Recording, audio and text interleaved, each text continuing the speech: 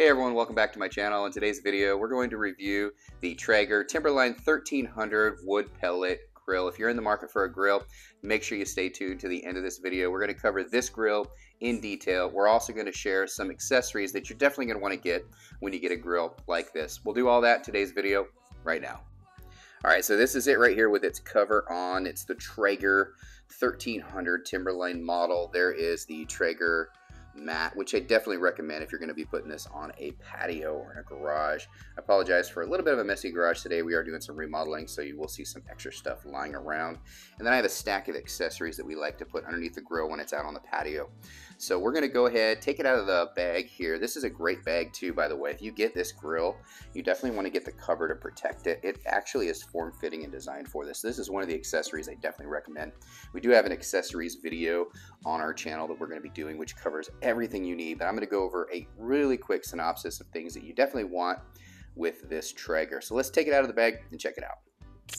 All right, cover is off the Traeger here. I just wanted to show you the screen here so you can kind of get an idea of what it's all about. You've got the dials, you've got uh, the timer, you've got a sm super smoke section, you can ignite it right there, and there's the full menu right there where you can check out the probe, the auger, the pellet sensor, and inside here you have the pellet. So this is where you're going to put the pellet. So it uses a wood fire pellet format. So we're going to talk about that a little bit in this video. And it also has the probe right there, which you'll plug in and put it into your meat absolutely love that probe because you can actually use an app. Now, if you go ahead and scan that right there on your pellet grill, you will get an app to control this. So it'll actually tell you what the temperature of your meat is when it's done. It also has recipes, all kinds of cool stuff.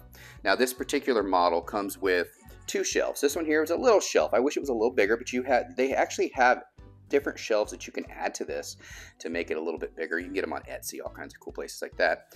And then you've got a side shelf. This is the standard side shelf, which has these little hooks where you can put some Traeger accessories must-haves. Now, if we open this up, it's very heavy, heavy duty. Oh, it's got some weight to it and it actually has a seal that goes all around here. You can see this, and this keeps that heat in, a very consistent heat.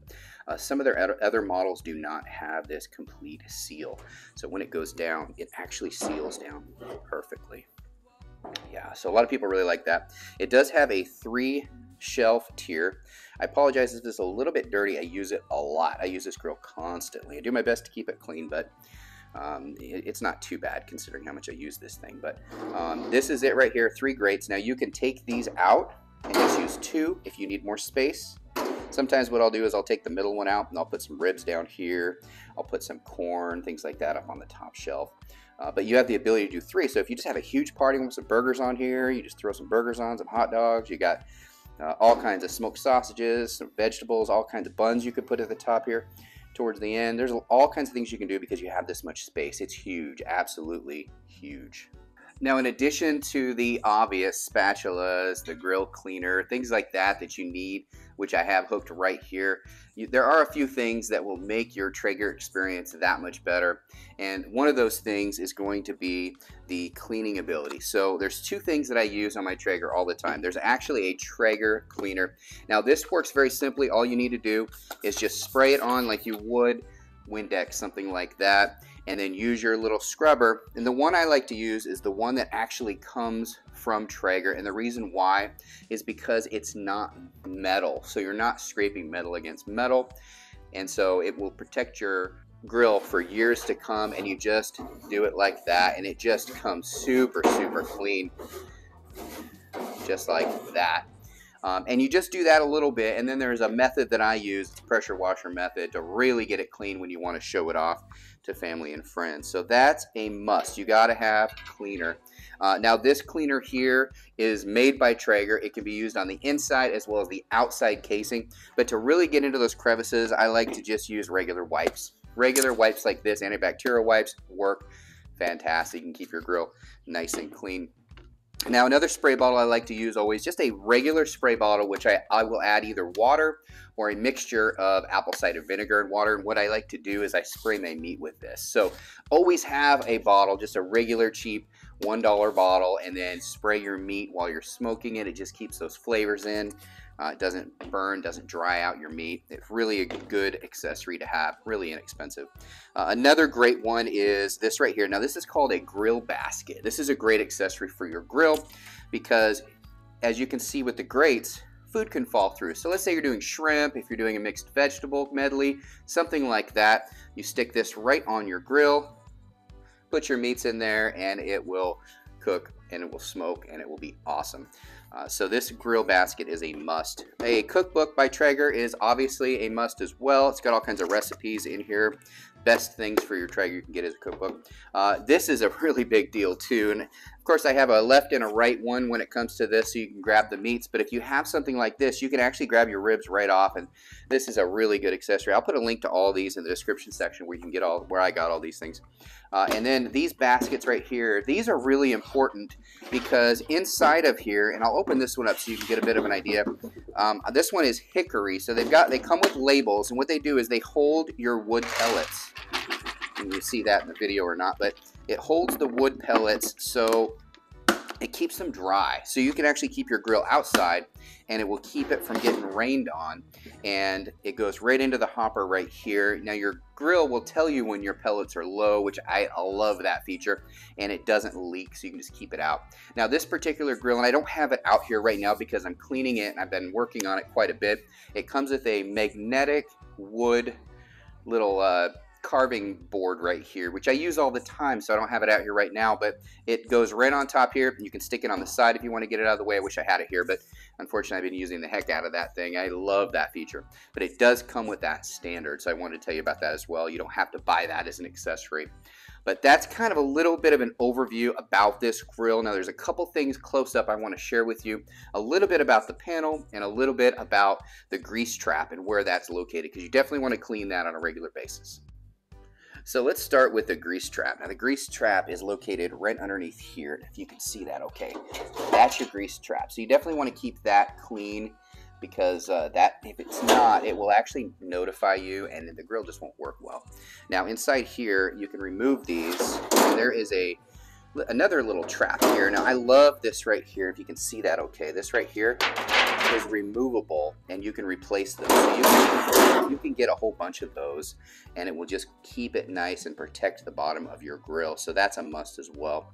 Uh, in addition to that, you've got your panel. Now this panel here is pretty incredible. And I, I encourage you to watch my video on the app because I show a detailed video on how to use the app to make sure that you are setting your you can actually start your grill from the app so you could be in your bed and be like, oh, you know, I think I want to smoke today. And you could just really quickly start up your grill and set the temperature for whatever meat you're going to cook. And then just come out here, put it in, and then the app will tell you when it's done. It's a great, great feature. So to ignite it, all you need to do is just hold down the ignition for a few seconds. So let's go ahead and go to the menu. Go ahead and hit ignite. As you can see here, it is igniting and you can actually hear it going. So what I like to do, it takes a couple fire ups to get going. So I just shut this up just like that and I wait. Current temperature inside the grill is 50 thick, 53 degrees and I have it set for 190.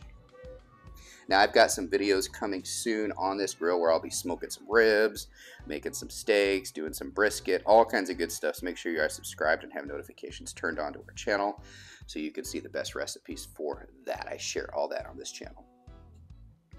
But it's starting the ignition process and once it starts to ignite, you will see a lot of smoke burrowing from underneath here. So this actually has a reverse convection, so it actually circulates in there, comes out through the back like that, and you will see that in just a few moments. And you've got your power off right here, your emergency power. You've got your power cord right here, and there's a little hook for it too, so you can actually wrap it around this little hook to keep it off of the ground if it rains and it's outside. But it's got a great build quality. I mean, it's just really, really nice. Nice quality build. All right, so let's get this thing fired up. We'll show you the smoke and how to operate it. All right, it is fired up. It just takes a couple minutes. You can see you've got some smoke coming here. You should start seeing smoke coming out the back, just like that. I love the way that it comes out the back. Some of the other cheaper models have it like a little tube that comes out like that. This one right here comes out right just like that. And I do encourage you to put this in an open air environment, maybe on a balcony or something like that. I have it in my garage for this demonstration purpose, but uh, it is a little bit cold outside. But as you can see right here, it's starting to go up. It'll go up pretty fast too, and it will get up to temperature very, very fast. The smell is amazing. I'm using the cherry apple, which is one of my favorites. They have so many different choices you can get when you go to the store. Just ask them, what kind of what wood pellets do you have? And they will tell you all of them. So let's open it up, see what it looks like here. Look at that. Now that is smoke. That's what I'm talking about. That's how you smoke. The Timberline 1300, absolutely love it. It's my favorite grill. It's pretty incredible how easy this grill is to use. I think you'd agree. The Timberline 1300 by Traeger is my favorite grill. And I've owned grills, I've owned smokers for years. You just don't get the taste, you don't get the smell, you don't get the full user experience with any other grill that I know of. If you know of another grill that's better than this one, please let me know down in the description section of this video. I'd be curious to find out, and I will try it out, and I will share it on this channel because this is by far my favorite. As you can see, it's still smoking here. I went ahead and put it into shutdown mode, so it will shut down. There's a 15 minute shutdown cycle. So it's just really easy to use. It's literally push button, or you can use the app. So I encourage you to check out my other videos on the Traeger here. I've got cooking videos. I also have the use of the app, the Traeger app, how to set it up, how to use it, all that stuff will be on that video. I really hope you enjoyed this video. I enjoy making these videos. I love grilling. I love smoking. We're going to cover these videos on this channel. I really appreciate all the support you guys give me. Thank you. Bye.